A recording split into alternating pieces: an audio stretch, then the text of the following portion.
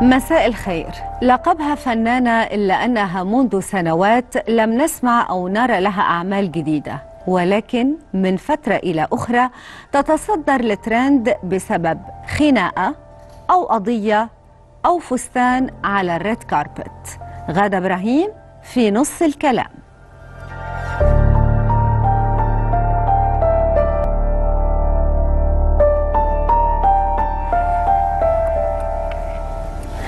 إذا غادة إبراهيم في ضيافة نص الكلام. مساء الخير غادة أهلا وسهلا فيكي نورتينا. إيه ال pink الحلو ده؟ وال flowers مش أحلى منك والله يا رغيدة أنا بحبك من زمان على فكرة، قلبي. أهلا وسهلا فيكي نورتينا وإيه المشاكل اللي عملتيها والضجة اللي عملتيها؟ أنا؟ آه. يعني أبقى مظلوم وكمان يتقال عليا عملت مشاكل؟ مم. يعني أنا مظلوم. أنا آه، يعني نحن من خلال هذه الحلقة آه، لازم نوضح مسائل كتير ولازم برضو نسمع رأيك وردود فعلك لأنه رح نستمع إلى كل الأطراف ونشوف برضو اللي بيحصل تداعياته إيه وأسبابه إيه وكل التفاصيل. يعني الكلام في كل مكان ولكن الحقيقة وحدها فقدان أصحابها. يعني حتكون والحقيقة عند. ربنا كمان. والحقيقة عند ربنا طيب. كمان. جاهزة؟ جاهزة. نبتدي بأول خبر معانا. بصي معايا على الشاشة هنا على يمينك. يلا. هنشوف. يا رب. دينا قالت إنه صار في اتصال أنا وانت أو انت وياها قبل آه ما تروحوا على دفن الراحل سمير. وقلتي لها أنا مش طالعة بالباص وأنا مش رايحة اسكندرية صح الكلام ده؟ أنا شفت دينا مرة واحدة بس في الجنازة في الجامع فوق وإحنا بنصلي صلاة الجنازة. امم مع جميع الفنانين مع فيفي عبده مع مدام ليلى علوي ومع مدام نادية الجندي مم. بس فوق. ما وسالتني ما صار في اتصال أو لقاء أنت وياها قبل أو تليفون؟ لا لا لا لا خالص. لا لا أنا يعني بقالي شهور ما شفتش دينا شفتها مرة عند ال- ال- الكوافير بتاعي وأنا بعمل pedicure من كام شهر. إنما أول مرة أشوفها من شهور كان في في صلاة الجنازة فوق. إحنا صلينا في الجامع فوق. مم. وإحنا وإحنا في فوق في فبتقول لي غادة هتطلعي اسكندرية؟ قلت لها لسه جاية من اسكندرية. فقط لا غير. لا في لا قالت لي في باص ولا قالت لي في باص هياخد فنانين ولا ولا كلام من ده خالص. هي بس كلمة. غدا هتطلعي اسكندرية؟ قلت لها لسه واصلة من اسكندرية. ما قلتلهاش لا مش طالعه مثلا. لا ما هو ما أنا ما- أعرفش معلومة الباص دي غير تحت. امم ما اتكلمناش في أي باص فوق في الجنازة. فوق خالص. في يعني الصلاة صليت الظهر وصليت صلاة الجنازة وسلمت على كل الناس وإحنا على السلم كده. غير طالعه اسكندرية قلت لها أنا لسه واصلة من اسكندرية فقط لا غير. يعني ما. قلتليش ما قلتلهاش أنا مش طالعة اسكندرية أو مش رايحة اسكندرية. لا هي لي- بتقول لي طالعة اسكندرية قلت لها أنا لسه واصلة من اسكندرية يعني هوصل يعني هرجع تاني إزاي؟ لسه واصلة. أنا جاية عشان سمير. مم. ونزلنا. كل ده ما أعرفش إن في باص. قابلت كان معايا واحدة من جريدة الأهرام صحفية وقابلت تانية موزعة صاحبتي تحت موزعة ما بين مصر والكويت وقابلت أربعة صح... صحفيين صحابي منهم اتنين رؤساء تحرير آه، قسم الفن. مم. مع... من مواقع مهمة ومحترمة. تمام. تمام؟ بقينا ستة. نتحرك ستة. سلمنا على الفنانين اللي في الساحة تحت. دكتور أشرف آه، هاني رمزي آه، الناس اللي حبايبي آه، دكتور خالد جلال. سلمت وطلعت خلاص كل ده إحنا بنعدي. وفي بوابة خروج أخيرة خلاص اللي طلعنا على ال parking الخارجي. تمام. ال parking الخارجي ده موازي لل- للمحور. يعني بره خالص. okay. وكان تقريبا كل الناس اتفضت لأني خلاص الناس خلصت وجيت أخرج من الباب لقيت إيمان العاصي داخلة في وشي. حبيبة قلبي الممثلة إيمان العاصي. مم. إزيك يا غادة؟ أخبارك إيه؟ تمام. آه طالعه اسكندرية قلت لها لسه واصله من اسكندريه قالت ده بيقولوا الفنانين آه طالعين كلهم اسكندرية دلوقتي عشان الدفنة في المنارة وهيرجعوا تاني في نفس اليوم. قلت لها مين اللي طالع؟ قالت لي بصي الباص اللي هناك ده يعني بوابه أهي والباص أهو. مم. بيني وبينه مثلا 100 متر. تمام. والبوابة الخارجية. تمام. قالت لي ده الباص اللي هناك ده وهياخد الفنانين يطلع بيهم اسكندرية. قلت لها انت عايزه تطلعي؟ قالت لي آه ما تيجي نطلع. قلت لها بصي أنا كنت شلت في الجيم آه، حاجة تقيلة عملت وزن تقيل فعندي الفقرة الثالثه والرابعة قطنية تعبني يعني لو- رحنا بالباص ده هنرجع عندنا disc. فتعالي انت معاكي عربيتك بسواق وأنا عربيتي بسواق نطلع بالعربية. لسه ما خلصناش الكلام. تمام. جه راجل محترم كده شكله اسكندراني. قال لي منين قلت له آه طبعا وبلديات الأستاذ سمير. قال لي طب ما الباص أهو طالع بالفنانين هيروح الدفنة ويرجع على طول. لسه والله العظيم يا راغده ما رديت عليه. يعني ما قلتش آه ولا لأ ولا تمام ولا بتحرك سنة ببص على الباص كده. يعني لسه ببص على الباص؟ ما قلتش حتى رأيي. لقيت حد جه من ورايا جري. أنا عارفة صوت اللي قالت اللي قالت الكلام ده. الباص لفنانين معينين ومفيش حد يركب الباص والعدد اكتمل وجريت. قالت الجملة دي بالنص وبصوت عالي. وما تعرفيش موجهها لمين؟ ليا ولا لمين؟ طب ما كان بيكلمني أنا. وقالت الجملة دي. حتى إيمان شافت المنظر كده مش حلو. انسحبت وراحت ركبت عربيتها ومشيت. أنا كان معايا بس الم- أنت اللي قلتيه بوقتها غادة غير غير اللي أنت بتقوليه؟ دلوقتي. قلتي انت أنا جيت أطلع الباص لا ما قلتش خالص الباص أطلع لا لا لا أنا. قلت جيت أتحرك ناحية الباص ما قلتش أطلع خالص. على فكرة الباص بعيد عني أنا قلت لك 100 متر. مم. no way إن نروح عند الباص. يعني بعيد. أنت بس سمعتي صوت أنا اتكلم يا دوب اتحركت إيه، سنة سنة. ببص عشان أشوف مين برضو فنانين هيروحوا. ما أنا برضو ممكن أقول له أقول لي إيمان تعالي معانا نروح بالعربية. أو لو لحت عليا إيمان عشان خاطري خلينا مع بعض كلنا هطلع الباص مفيش مشكلة. تمام. عشان خاطر سمير كنت هعمل أي حاجة. تمام. أنا لآخر يوم في عمري بقول لك أنا لو ما أقدرش أرد جمايل الاستاذ سمير صبري عليا. خالص خالص. وبعدين دينا سمعتي الصوت اللي بيتكلم اللي بتقول الباص لفنانين معينين صح؟ بتقول آه الباص لفنانين معينين طب مين قال لك إنه. أنت المقصودة في الكلام جت ده؟ ورايا في ظهري كده يعني كده واقفة مين كده تقصدي مين؟ واحدة اسمها إلهام شلبي مذيعة فقلت لها مين علمك إعلام انت أصلا مشلبكه انت ما بتعرفيش تتكلمي I love you I love you you must come Cairo يعني أنا قصدة مين قصدة إعلامية معينة أو واحدة بتقول على نفسها إعلامية ما جبت سيرة فنانة خالص. بس يا غادة يمكن ما تكون قصداكي أنت. أقسم بالله العظيم يعني أنت ما قالت لي يعني ما قالت لك الكلام في وشك أنت فهماني؟ يعني أنا يعني- اليوم أنا عاوزة أواجهك أقول لك في وشك. يعني يمكن قالت لحد تاني تقصد فلنفترض عم تقصد طيب آه، آه، لو. أنا لو أنا فهمت غلط اللي كانوا واقفين في وشي الصحفيين دول الإعلاميين بما فيهم الراجل المحترم ده اللي علقوا عليه وقالوا سيبك منها يا غادة دي تافهة. آه، مالكيش دعوة شكلها بتجر شر. يلا تعالي. دول كمان فهموا غلط؟ يعني أنا هم سمعوا معاك ما كانوا الكلام؟ واقفين معايا. إيمان كانت موجودة معاك؟ إيمان سحبت نفسها أول ما سمعت الجملة دي وركبت عربيتها ومشيت. يعني إيمان شاهده على الكلام ده؟ والصحفيين والناس. الله أعلم بقى سمعت ولا ما سمعتش. الكلام ده كان في ظهري مع الناس اللي واقفين. بدليل الصحفيين اللي واقفين قالوا لي غادة دي تافهة سيبك منها. هي... هيعلقوا ليه الجملة دي لو ما كانوش سمعوا الكلام ده. ومسكوا ايدي كده ربطوا على ايدي كده منهم مصور معروف جدا حد محترم جدا متصور معايا حتى في الفيديوهات. غاده معلش يلا. وطلعت عديت البوابة وطلعت وطلعت على الباركينج الخارجي بره اللي هو موازي للمحور. أنا قايلة الكلام ده على فكرة في ال live اللي بعد الجنازة ب 20 دقيقة. يعني أنا خرجت من الجنازة على بيتي في المعادي على كورنيش المعادي. كان عندي live من القاهرة 24 ومن الوطن. live. قلت نفس الكلام وموجود على الفيديو على ال- اليوتيوب. يعني لو في حرف متغير في كلامي بصي يا راغده أنا برج العقرب ما بخافش وما بكذبش وأكره مع قلبي اتعامل مع حد كذاب. أنا الكلمة اللي بتطلع مني هي هي هتلاقيها بالحرف في كل الفيديوهات. وعلى فكرة آه، اللي بيقول لك آه، هي بتقول جينا ما فيش إلهام آه، الممثله ما كانتش موجودة. هي فعلا ما كانتش موجودة. وأنا ما جبت استريتها حسبنت عليها؟ آه حسبنت عليها. في الدعاء الأخير بس ليه انت دخلتيها بالموضوع وهي مش موجودة لإلهام لا ده؟ عداوة بقالها ده ده يعني انت آه. بت- بت- بتحاسبيها على حاجات أنا طالعة. بقى خلاص بقى متضايقة عشان هما الاثنين كانوا عاملين عاملين بقى عليا مشاكل بقى لها سنين جدا فقلت قعدت أدعي على دي على البنت بنت سعاد شلبي بنت سعاد ورحت بالمرة رحت إيه محاسبينها انت. جبتي جبتي سيرتها يعني بس آه بس. هي ما قلتش إنها كانت في الموضوع ولا منعتني ولا جت جنبي وقايله ومفسره هو أنا يعني هو أنا لو لو موجودة من هقول موجودة مش موجودة مش موجودة. وبعدين أنا رايحة بصي يا رغيده شعري مبلول أنا نزلت شعري مبلول زي ما أنا كده مش عاملة make up خالص ضاربة نضارة الشمس لابسة عباية عباية كده مفتوحة عشان أقدر أصلي م- ما اضطرش ألبس اسدال ومعايا طرحة على كتفي عشان ساعة الصلاة ألفها على راسي. يعني ولا اللي يعني دينا اتظلمت قبل كده. وأنا بقول لها يا دينا انت اتظلمتي قبل كده. ولما طلعتي عيطتي صدقناكي وصدقنا دموعك. وأنا اول واحدة اتعاطفت معاكي لأن أنا ضد اي ظلم لأي ست. إزاي اللي اتظلم قبل كده يظلم؟ انت لا تعرفي حصل إيه عند الباب ولا تعرفي قالت لي ولا ما قالتليش ولا تعرفي إيه الحوارات اللي دارت بيني وبين صحفيين كانوا واقفين معايا. انت كل اللي قلته لي فوق رايحة اسكندرية قلت لك لا أنا لسه جاية من اسكندرية. ولا أعرف في باص ولا فيش باص. إزاي تظلميني وانت اتظلمتي قبل طب كده وليه تقول الكلام ده دينا؟ سألتني رايحة لا اسكندريه ليه تقول تطلع بال بال بالتصريح ده وبالكلام ده؟ الله أعلم. مع إني عايزة أقول لك حاجة علاقتي طيبة جدا بدينا على مدار سنيني. طيبة جدا. كنت باجي من اسكندرية عشان أحضر استعراضات بتاعتها في الفندق وأرجع. طيبة جدا.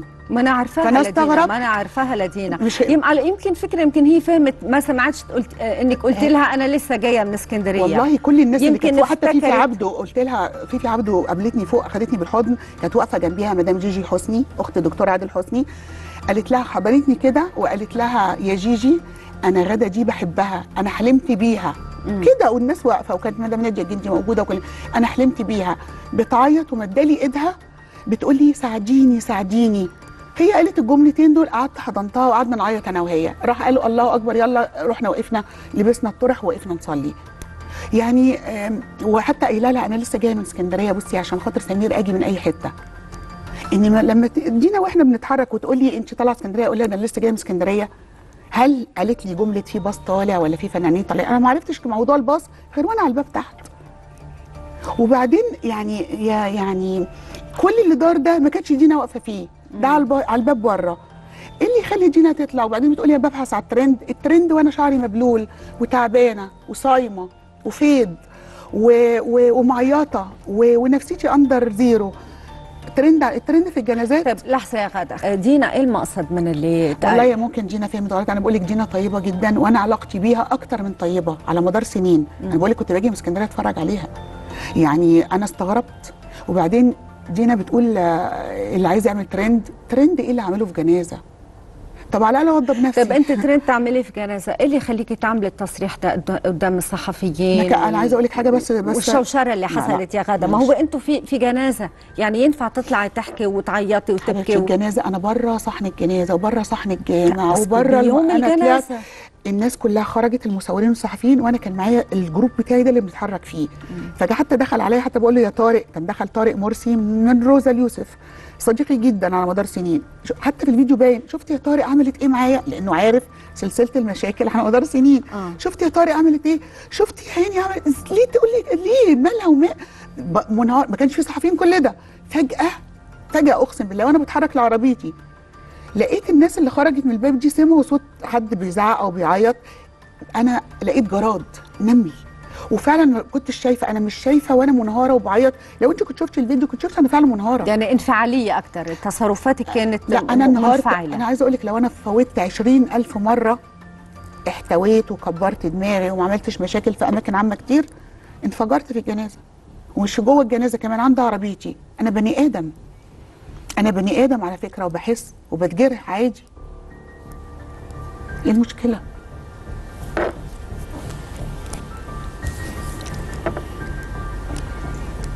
ليه الحرب دي عليك يا غادة؟ ليه؟ من سنين لهلا في إيه؟ ليه هالمشاكل؟ ليه الاسمين دول على طول مطروحين معاكي وبكل خناقاتك وبكل مشاكلك؟ ليه؟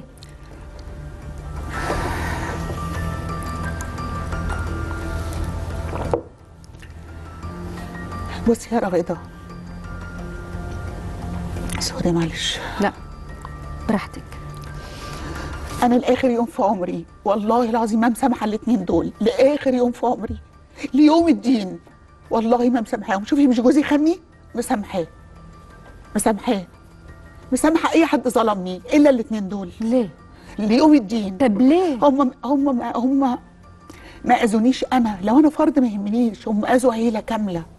عيلة كاملة ما عملت لهمش حاجة. كانوا عايزين يسجنوني ويشطبوني من نقابه المهن التمثيلية ويدمروا سمعتي ويدمروا حياتي وشغلي. بس ربنا أقوى منهم. ربنا أقوى. طب ليه يعملوا ده؟ ليه يعملوا ده؟ ليه؟ طلقوني من جوزي الأول عشان كان مرشح يجي وزير. قالت لك دي هتبقى حرم الوزير. يلا كرسي في الكلوب ما بقاش وزير. أهو لغاية دلوقتي ما بقاش وزير. وعادي ربنا نجاني من زوج خاين الحمد لله مش ندمانة ومش زعلانة ومع ذلك ما سابونيش مستمرين لغاية النهارده ليه؟ إيه ده؟ إيه الجبروت ده؟ إيه الجبروت ده؟ إيه سبب المشكلة دي؟ جوزي من الأول خالص زوجي ليه شو خص جوزك؟ بقول لك كان؟ مرشح يجي وزير إيه يعني إيه وإذا كان آه، مرشح هي ليه الها حصل؟ أنا ما تدخليش أسامي بعد إذنك في حواري بعد إذنك يا راغدة بعد إذنك آه سبب مشكلتي مع زوجي وانفصالي منه إنه خني وبلعت الموضوع. وسافرت عند أختي في دمشق قعدت شهرين ونص وقفلت الموضوع نهائي. نهائي. لما رجعت ما سابتنيش لغاية النهارده لغاية اليوم ده. واللي بتساعدها دي الأنتيم بتاعتها اللي هي قلبت عليها من كام شهر. اللي هي لفظتها قدام كل الناس وقلبت عليها. وقالت صفحة واتقفلت. ما هو بينقلب السحر على الساحر. ويمكرون ويمكر الله والله خير الماكرين. بس. فينا نهدى أنا عايزة وتحكي منديل لو سمحت بس آه آه حاجة واحدة عاوزة على أعرفها فكرة ما فيش حد في الوسط الفني مش عارف الموضوع ده ده من سنين ما ده اللي طب أعرفه ثواني- يعني؟ ثواني. إيه خص جوزك يخص في. المشاكل اللي حصلت بقول لك؟ خني لا خليك مع, مع مين؟ منشور وفي عين وفي مجلة السينما أنت اللي منشور. قلت كده صح؟ لا حد أنتيم بينا كان رئيس تحرير وشوشه ساعتها عرف الموضوع حتى أنا اتضايقت منه وسافرت سوريا وقفلت تليفوني شهرين ونص. قفلت تليفوني شهرين ونص مش عايزة مش عايزة أكلم حد. وانفصلت وقطعت يعني خلاص الموضوع ده اتقفل نهائي. بس هم ما نسوش ما نسيوش. إيه ده؟ يعني أنا أنا اللي مظلومة وكمان أتهاجم. إيه ده؟ يعني هم اللي كان لهم علاقة في في الموضوع السابق تقصدي؟ بقول لك منشور يا راغده يعني هم هم منشور هي دي زميلتها. ال- المذيعة دي زميلتها صاحبتها اللي بتساعدها في كل حاجة. دراعها اليمين دراعها المنفذ. منشور كده زوجي خاني مع فنانة أكبر من أمي وتفاصيل جوه بالرموز. كله قعد يكلمني قفلت تليفوني وسافرت سوريا وقفلت الموضوع نهائي وانفصلنا. وخلص الموضوع. من ساعتها متواعدين مهرجانات تكريمات شغل. ايفنتس أي حاجة ممكن تتخيليها. عاملين كماشه بس في ربنا بس في ربنا. ما فيش حد في الوسط الفني مش عارف سلسلة العداوة دي ولا تاريخ العداوة دي. ما فيش. دينا أنا بعذرها إنها مش فاهمة ولا مش عارفة اللي حصل عند الباب. بعذرها مفيش مشكلة. بس ما تقولش عليها عايزة ترند ترند في جنازة ترند إيه اللي عايزاه. أنا لو عايزة ترند أنا عندي أنا عندي بلاوي أقدر أعمل بيها ترندات بس ما بعملش كده. فضايح الناس ما هياش ترند. الترند اللي بيجي على الفضايح ده ترند رخيص. هذا مش ممكن تكون انتظال مع الشخصيتين الاثنين اللي اللي قبل. خلينا نتكلم بقى. ولا مرة وقفت مع نفسك قلت يمكن أنا ظلمتهم يمكن آه، في فعل في ردة فعل وبتكبر مثل كرة الثلج مع الوقت. يعني هو الموضوع ما اللي كانش بيكبر. الموضوع من عندهم على فكرة. أنا قفلت موضوعي وقلت خلاص زوج خاين وراح لحال سبيله وحتى الزوج خلاص مش في دماغي. ربنا يسهل له. عادي. هم اللي بيكبروا المواضيع وبيشوفوني في أي حتة مش عايزين أبقى متواجدة فيها. مش عايزين بيشوفوني بيحصل لهم ارتكارية. مش عايزيني مش عايزيني في الدنيا. لا في نقابة ولا في شغل ولا في حاجة. خالص. ولا مرة تواجهتوا تكلمتوا مع بعض؟ يا حبيبتي آه بجد العظيم يا رب. يعني أنا أمي بسبب المشكلة اللي عملوها لي في 2016 لغاية النهارده مريضة. أنت متأكدة هم ورا الموضوع ده اللي هتكلم حصل؟ في الموضوع بعد إذنك يا راغده بعد إذنك. طيب دون فاصل ونعود.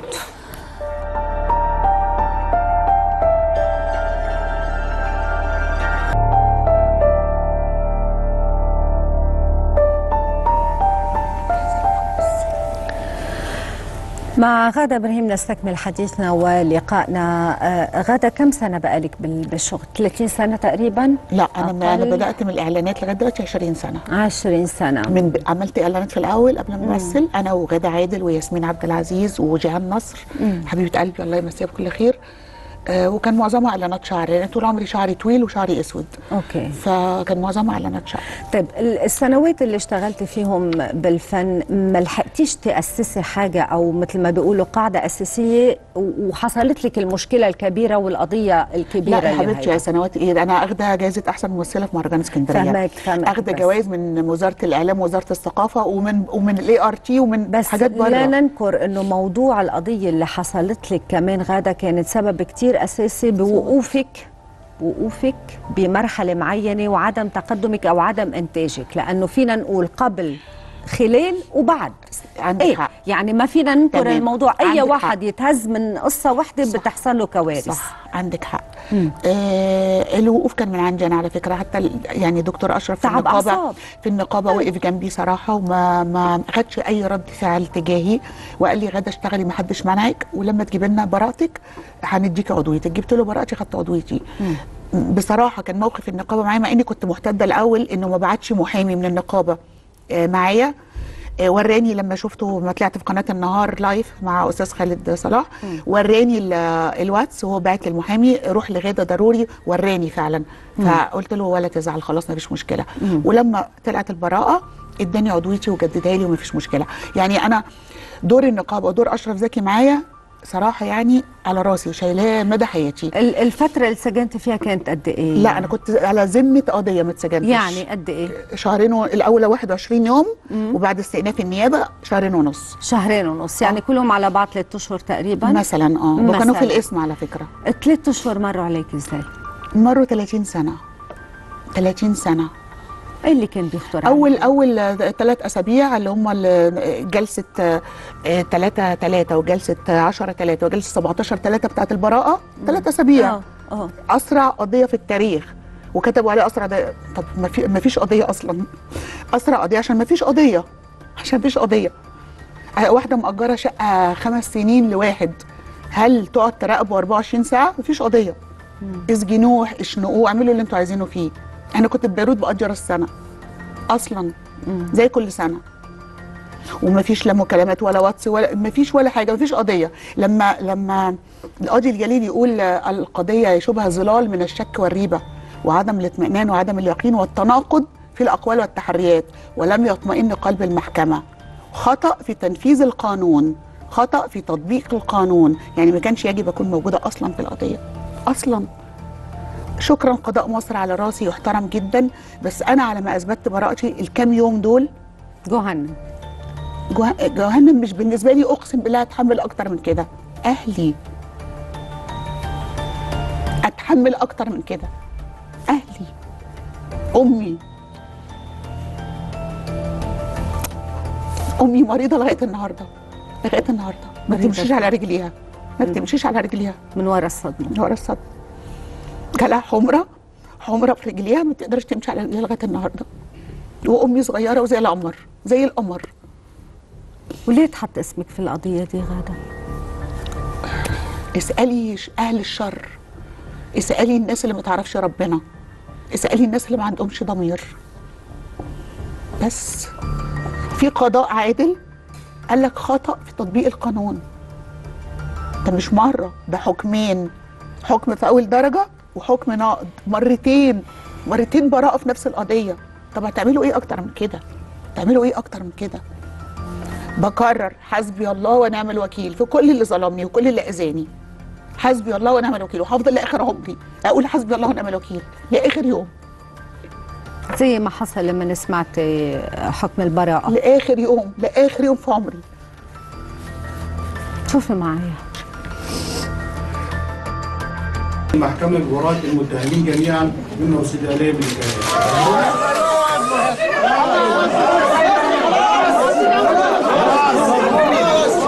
مظلومه والله العظيم مظلومه والله العظيم مظلومه والله العظيم مظلومه والعظيم متلفقه وأنا هطلع أقول مين اللي لفقها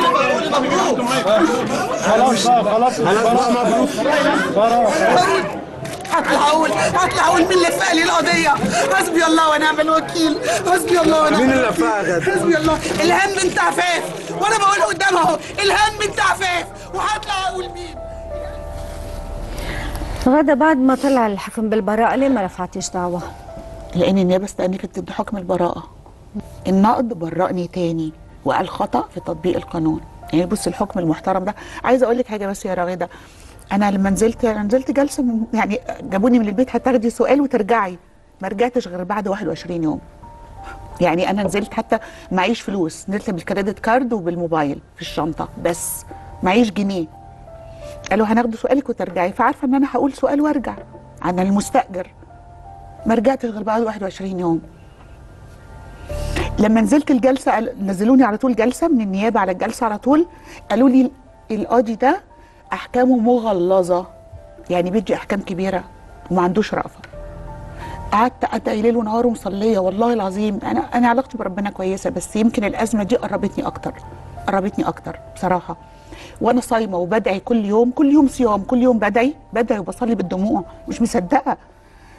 قالوا لي غدا لو خدتي حكم كبير معلش ما تزعليش القاضي ده أحكامه مغلظة ممكن في الاستئناف يشيل الحكم نزلت وما توقعتش إن القاضي المحترم ده يديني براءة. أقسم بالله العظيم. وإن يقول أسبابه أسباب لم يطمئن قلب المحكمة لم يطمئن قلب المحكمة. والقضية شبه ظلال من الشك والريبة. أقول إيه أكتر من كده؟ مش ربنا. انت برضو كمان ممكن يكون صار عندك شك وريبة آه، غدا كل الوقت ومتهمه هالشخصيتين طول الوقت طب بحياتك. طب بعد اعتراف يعني جوزي ليا معلش معلش لما جوزي يجي يعترف لي قدام الله يرحمه القدير العظيم أبويا الروحي أستاذ علي أبو شادي اللي هو مجوزني. هو اللي مجوزني أستاذ علي أبو شادي يعني أنا فسخت خطبتي 10 مرات. على مدار سنتين فسخت خطبتي 10 مرات. لاني ما كانش يصلح الشخص ده إن أنا أتجوزه. ومع ذلك من إلحاحه وعياطه في كل حتة ومطارداته ليا. دكتور محمد كامل قلوبي الشاهد على عقد زواجي. أستاذ علي ابو شادي أبويا الروحي الله يا رب يرحمه ويحسن مسواه. من إلحاحه وافقت على الجواز. فسخت خطبتي 10 مرات. تمام. لما يجي بقى أكتشف الخيانة ويجي قدام أستاذ علي أبو شادي ده يعيط بالدموع يقول لي دي أول وآخر مرة في حياتي ومش هعمل كده تاني واعترف بالتفاصيل. قلت له قول قول عشان أنت عارفه أنا ما بقبلش كذب. قول وهقفل الموضوع ده نهائي مش ويمكن فيه ويمكن كذب عليكي وهيكذب ليه؟ ويمكن يكذب عليكي. والواتس والمكالمات والإيميل فينا نعتبرها دي صفحة كانت ومن الماضي أنا. قفلتها أقسم بالله بس ما قفلتها انت طول الوقت برضه لا، بسيرتهم إني لا- لا- يا لا- لا- هم مش. سايبيني في حالي، يا. حبيبي لحظة لحظة أنت اليوم من قصة الباص جبتي سيرتها وجبتي اسمها وهي مش موجودة؟ خليني آخد كمان حق الطرف الآخر يعني أنت اليوم فيك تقولي لي المذيعة بس ما فيك تقولي لي الاسم الثاني وهي مش موجودة بس قلتي لي كنت مخنوقة حبيبتي أنا ومتغاظة قلت لك عدى فلاش باك كده بكل الظلم اللي مراحل السنين كلها قدامي في في العصبية وفي التوتر وفي الصيام وفي الزعل على سمير وفي العياط جوه. أنا ص- أنا عيطت كتير جدا عليه ودعيت له من قلبي. كل ده مع اللي حصل منها عدى فلاش باك كده بكل الأذى على مراحل سنين. ده سنين مش يوم ولا شهر سنين. فيهم أذى فيهم أذى نفسي وفيهم أذى مادي. أنا خسرانة أنا على مدار من من من أول درجة لل للنقد 2 مليون جنيه. أقسم بالله.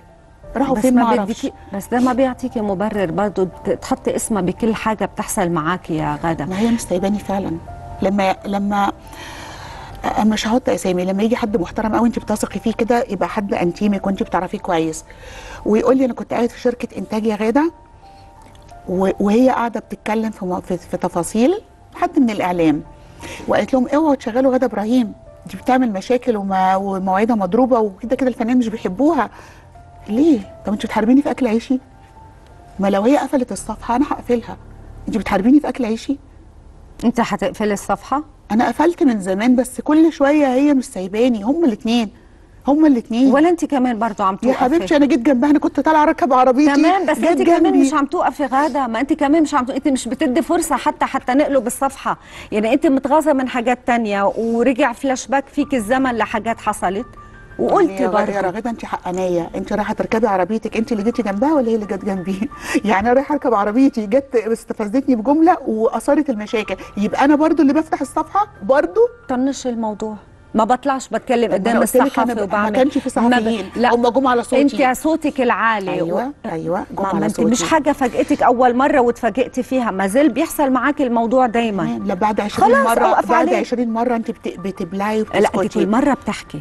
لا ما حصلش التوتر ده في أي حتة خالص خالص. الحده دي والتوتر ده والعصبية دي ما حصلش قبل كده. بدليل إن أنا بلعت كتير قوي. جيت مرة وأنا بني آدم بحس لحم ودم توترت. أنا بني آدم. انت دلوقتي موقوفة على العمل؟ أنا عندي تحقيق. لا مش موقوف عن عمل عندي تحقيق. أصل في فرق إن حد يتوقف وحد موقوف للتحقيق. أنا مو عندي تحقيق. حد تواصل معاك من آه رحت التحقيق. طبعا في مستشار من مجلس الدولة حد محترم حقق معايا واثنين من مجلس النقابة إيهاب فهمي وأحمد سلامة. ومنتظره نتيجة التحقيق. عادي خالص. وزي ما ربنا نجاني قبل كده من مصايب كتير قوي حفروها لي ربنا برضه هينجيني. طيب غدا في ناس قالت هم توقفوها على الشغل ليه؟ ليش, ليش أصلا هي بتشتغل؟ دفعوها فلوس. صح. صح عارفة. ليه؟ عارفة ليه ما بشتغلش؟ لانهم متنمرين عليا في كل حتة أقسم بالله. ولما جالي شغل تصدقوا وتأمني بالله قبل الجنازة بيومين كنت قاعدة وتعاقدت على مسرحية غنائية استعراضية لأن أنا لعبتش المسرح. تعاقدت يعني يوم ما جالي شغل بعد ثلاث سنين توقف بمزاجي مش توقف من النقابة ولا بمزاجي. ما كانش عندي نفس ولا كان عندي أصلا قابلية إن أنا أقابل حد أو أتواصل معاه. لما وضيت شغل إيقاف وتحقيق. تخيلي؟ شوفي المفارقة. فاصل ونعود معكم.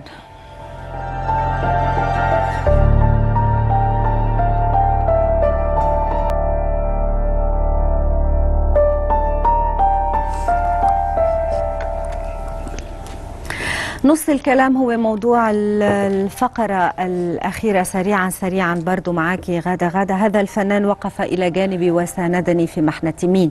اديني اسم. دكتور أشرف زكي. دكتور أشرف أنا عايزة أقول لك من قبل ما اخد العضوية أنا ليسانس أداب جامعة اسكندرية. كان من حقي سبع تصاريح سنوية وبعد كده اخد العضوية. كان في آه، مشاكل في النقابة مش عايزين يدوني العضوية من النقيب السابق. مش هقول مين لأن كان في كذا نقيب. وكملت لغاية 10 تصاريح آه، سنوية. واللي جاب لي العضوية دكتور أشرف زكي. هؤلاء من تخلوا عني وقت محنتي؟ آه في ناس كتيرة قوي. مين اللي, ب... اللي, ديني. اللي بحس بقلبك بصي بس في ممثلة أنا وقفت جنبها في محنتها في محنتها في بيتها بعد خروجها من أزمتها وكنت أول واحدة في استقبالها في بيتها. بعد ما, ما يوم البراءة طلعت لقيت عاملة لي unfriend على الفيسبوك. مامتها بتكلمني لغاية النهارده. والدتها بتقول لي تعالي يا حبيبتي ده انت بنتي. لغاية النهارده بعشق أمها بعشقها. إنما هي عملت لي unfriend على الفيسبوك. ولما شافتني في الجنازة أو في عزا فاروق الفيشاوي ما سلمتش عليا. ليه؟ عشان ليه؟ انضمت لهم. بقى في أحزاب. إحنا عندنا في الوسط الفني على فكرة في أحزاب. في شلل وأحزاب. وده معروف على فكرة. أنا لا ضمن شلة ولا ضمن أحزاب. أنا في حالي حتى أصدقائي من خارج الوسط الفني. من المدرسة من الجامعة من النادي. أنا رياضية طول عمري سكواش. ما عنديش يعني عندي زمايل في الوسط الفني بحترمهم جدا وولاد ناس ومحترمين. بس أصدقاء intime من الوسط الفني ما فيش. إنما أنا لا عندي شلة ولا عندي حزب ولا عندي group ما حاولتيش تكلميها بقول لك؟ شفتها كده عيني في عينها ما كده؟ كلمتيهاش عاتبتيها قلتي لأ أنا وقفت جنبك أنت ما وقفتيش جنبي. لا عاتب لا ده كده بنزل من نفسي لأ عيب. لا من هو الشخص اللي طلبت منه المساعدة ورفض قال لك آسف. ناس كتير برضو. كنت فاكراهم قريبين مني من الوسط ومن بره الوسط. خذلت كتير يعني. يعني أنا عندي محامي محترم معايا آه، اسم كبير. بس قال لي ده يعني لو كان معايا في القضية ما كنتش دخلت يوم واحد. بس قال لي غادة سامحيني أنا ما بترافعش في القضية دي. عادي وأنا موكله عنده. ما زعلتش. ليه برأيك؟ ما بيترافعش في القضية عشان عنده أعداء كتير وعنده ناس ممكن تتنمر له فما بيترافعش في القضية النوعية دي. احترمته. لا بيترافع في القضية دي ولا المخدرات. احترمته. وما زال محامية لغاية النهارده. هلومه؟ هو وجهة نظره كده.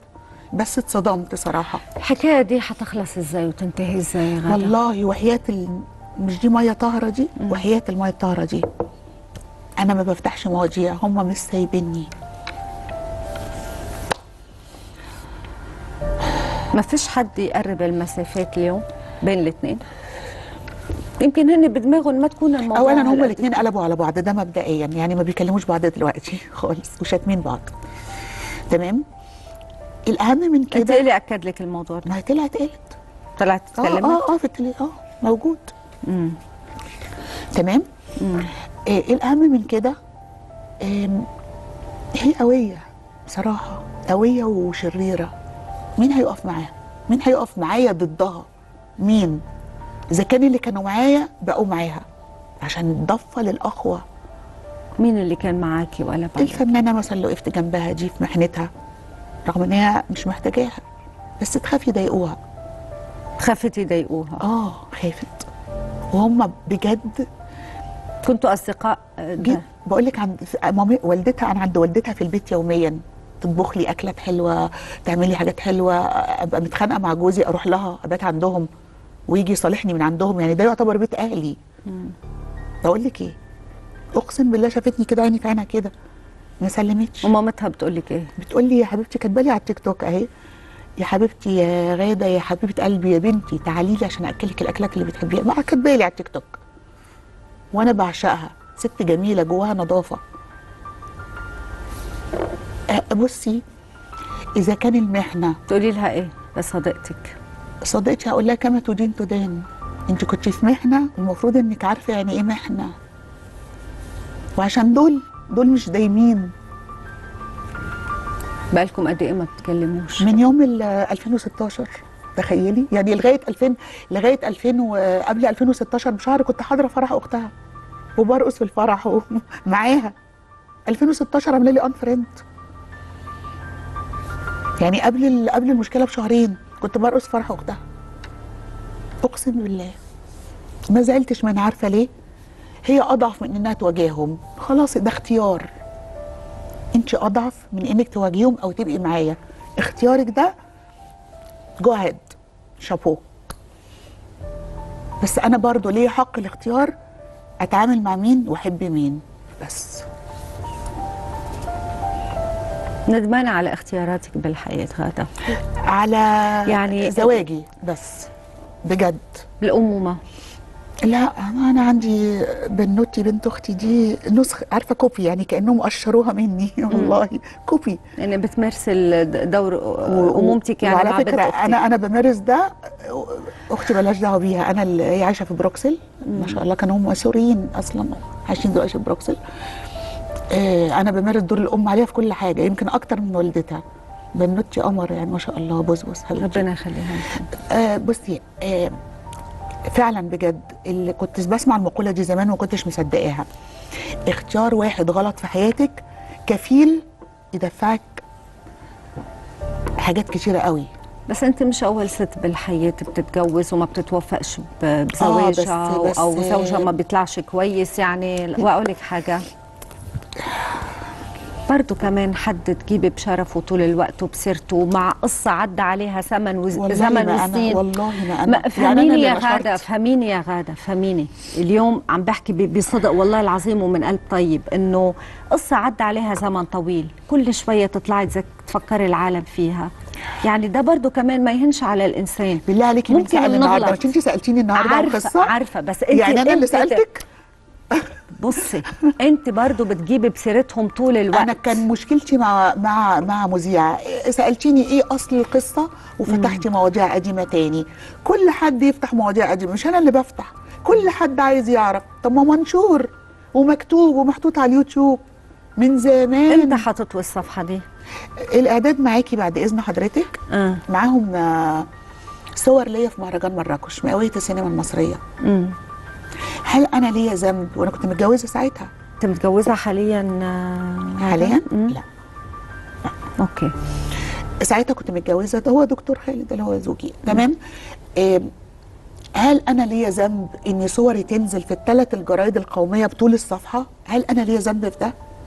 ده كان سنة كام؟ مئوية 2007 مئوية السينما 2007 المصرية. okay هل ده ده للصحف المغربية مغربية. يعني okay. المصورين هناك وانت سافرتي المغرب وسافرتي مهرجانات كل العالم المصورين هناك فرنساويين. حتى أنا ما بتكلمش أنا بتكلم فرنسي شوية بس الإنجليش أكتر وإيطالي علشان أنا يعني اختاروا. صورك وحطوهم صور إحنا. كنا 140 سينمائي الملك باعت طياره تاخد 140 سينمائي لمئويه السينما المصرية اللي إحنا في مصر ما احتفلناش بيها المغرب احتفلت بيها مم. تخيلي تمام وكنت أنا وجوزي وإحنا أصغر اتنين في الموجودين أنا ومحمد عادل إمام لغاية الله يرحمه نور الشريف الأستاذ وحيد حامد الله يرحمه القامات. يعني إحنا من اصغر أستاذ علي أبو شادي اختار من اصغر حد لأكبر حد يبقى كل السينمائيين في كل المجالات تصوير إخراج تأليف تمثيل. فأنا رايحة أنا وجوزي يعني مش لوحدي كمان. ال 140 سينمائي كنت أنا الوحيدة اللي لابسة dress أحمر. أنا الوحيدة. وكنت أنحف من كده وشعري طويل أسود و- و- وحتى حتى ماسكة شال في إيدي حتى حتى نسيت الجزمة السواريه لبست البوت تحت الجزمة تحت الفستان عشان مش هيبان. نسيت الجزمة السواريه ما بانش. طلعت على المسرح تك تك تك تك تاني يوم الصبح المغربيه انت عارفة الجرايد المغربية والصباحية والمسائية. بطول الصفحه موجود مع الإعداد عند حضرتك. تمام؟ ده ذنبي إيه في ده؟ المهرجان اتكهرب. مين دي اللي محطوطة صورتها؟ طب أنا ذنبي إيه؟ الناس اختارت أقرب حد في الموجودين للشكل المصري واختاروا الدريس الأحمر مع الشعر الأسود مع بياضي كأنه رمز العالم مصر رمز. وما يعرفوش اسمي ما كتبوش اسمي. يعني اسمي مش مكتوب على الصورة. بطول الصفحة والفنانين مربعات اللي هم النجوم super stars مربعات على ديل الفستان وعلى الصفحة. أنا ذنبي إيه في ده؟ ذنبي إيه؟ عملت لك مشكلة يعني الموضوع ده عمل لك مشكلة. مشكلة بقى أستاذ علي أبو شادي صحيته 7 الصبح. مين اللي عزمها دي؟ قال لها أنا مصاحبها أنا عازمها هي وجوزها. أنا عازم من اصغر سينمائي من هي ومحمد حتى محمد عادل إمام كان 2007 وجه جديد لسه. لغاية أكبر نجم سوبر ستار. أنا ذنبي إيه في ده؟ والمهرجان اتكهرب. واتعزموا في القصر عند مولاي رشيد. أنا الوحيدة أنا وجوزي اللي ما رحناش. لأنها هددت. لو هي حضرت هي وجوزها أنا همشي فورا. وإحنا راجعين على القاهرة ما ركبتش الطيارة معانا. أقسم بالله العظيم. يبقى أنا اللي بعمل مشاكل؟ أنا ذنبي إيه في ده؟ صحفيين مصورين فرنساويين لقوا الصورة دي أنسب لمئوية السينما المصرية اللي ما يعرفوش اسمها إيه. غادة نحن تقريبا آه، آه، خلص وقتنا. بس عاوزة أختم معاكي بس في بس خليكي fair يا غادة. أنا عارفة إن انت fair طول عمرك. انت عارفة انت عارفة أنا لازم آخد برضو آه، آه، وجهة نظر الطرف الآخر أو رأي الآخر. بتكلم برضو بلسان الآخرين عشان ناخد كل ال- الحقائق من الجهتين. عرفتي؟ لأنه ما بنقدر نتبنى نحن رأي واحد. تمام. اليوم أنت من بعد كل اللي حصل لك. إيه حاطه في دماغك؟ يا حبيبتي إيه جالي مخططك؟ أنا هتعملي ركزت إيه؟ في شغلي جالي هتعملي مسرحية إيه؟ مضيتها؟ إيه؟ مضيتها بدليل إن أنا مركزة في شغلي. مسرحية وساتكم كمان. قبل الجنازة بيومين. مم. وقبل الجنازة بيوم كان عندي اجتماع عشان نتكلم في التفاصيل. طيب. تاني يوم الجنازه ال- طب يعني أنا واحدة. عايزة مشاكل ولا عايزة أركز في شغلي؟ مم. يعني أنا برضو عملت إيه؟ طيب اللي حصل حصل. خلينا نبتدي بصفحة جديدة. اليوم حتعملي إيه؟ أنا أتمنى آه، مجلس النقابة المحترم برئاسة الدكتور أشرف زكي يعرف إن أنا واقفة بقالي بمزاجي. طبعا حضرتك مش واقفني وكتر خيرك على وقفتك جنبي. بقالي واقفة خمس سنين تقريبا أو أربع سنين أو خمس سنين ما بشتغلش بمزاجي برضو. لما جالي شغل حضرتك واقفني ومحاولني التحقيق. بس أنا مش طالبة غير رأفة. هتقولي له إيه؟ أصل هو عارف كل حاجة على فكرة عارف تفاصيل كتيرة قوي أنا ما اتكلمتش عنها. كنت بجري على النقابة أشتكي له. عشان يغيتني يقول لي معلش يا غدا أنا هتصرف. دكتور أشرف عارف تفاصيل بس ما بيتكلمش. وعلى الحياد. دوره إنه يكون على الحياد؟ تمام مفيش مشكلة بس هو عارف. هقول يا دكتور أنا عايزه أشتغل وعايزه أركز في شغلي بس بس مش عايزة حاجة من حد. والله يسامحهم ولكل الناس اللي بتشوفنا غادة وبتشوف كل القصص اللي بتحصل بتقولي لهم إيه؟ آه، أنا بس الاعتذار الوحيد بجد اللي عايزة أقدمه أقدم للجمهور. الجمهور ملوش يعني ملوش دعوة يشوف برضه شكل الفنانين كده وإن هم بيتخانقوا. أنا ما اتخانقتش مع طرف أنا كنت مع نفسي. بس بجد بعتذر لكم لأن أنتوا ليكوا حق عليا. أنتوا اللي عملتوني عملتوا اسمي وال fans اللي دخل بالملايين. أنا في أنا في أول ساعة 4 ملايين مشاهدة. ال fans اللي دخل بالملايين وكتبوا علي كلام وساندوني أنا من غيركم ولا حاجة صراحة. أنا عمري ما قلت على نفسي نجمه نجوم ولا super star أنا واحدة عادية بيجي لي دور حلو بمثله سامحوني إذا كنت ضايقتكم بس مش هقول أكتر من كده. بس أنا الزيت وأنا بني آدم في الآخر بس مش أكتر يعني. وسامحوني وأنتوا على راسي والله العظيم على راسي. بتمنى يا غادة إنه تكون آه، نهاية كل الأزمات والمرة اللي جاية نشوف في دموع فرح دموع نجاح دموع دموع. حاجات حلوة لا لازم نبقى نتكلم عن حاجات وعن شغل وعن نشاطات أنا بحبك بس إحنا- ما كنتش عارفة إنك إحنا- هتعيطيني كده الصراحه لا يعني. لا للصراحة إحنا كان لازم نحط النقط على الحروف ونتكلم في الموضوع للمرة الأخيرة ويا رب صفحة وتنطوي مع شغل وحاجات أشتغل وعايزة حلوة أركز في شغلي يا راغدة. ومستقبل حلو. آه أنا عايزة إحنا لما جيت أركز في شغلي ألاقي عثرات. ليه؟ إن شاء الله تكون آخر آخر مطب لإلك بمسيرتك المهنية ونشوفك كلك فرح وكلك نشاط. شكرا لك يا غدا نورتينا والله. في نص الكلام. ونلتقي بجد. مجددا مع أفراح وحاجات حلوة إن يا شاء الله. يا رب على وشك. شكرا لكم مشاهدينا وحلقة جديدة تجمعنا من نص الكلام. إلى اللقاء. Música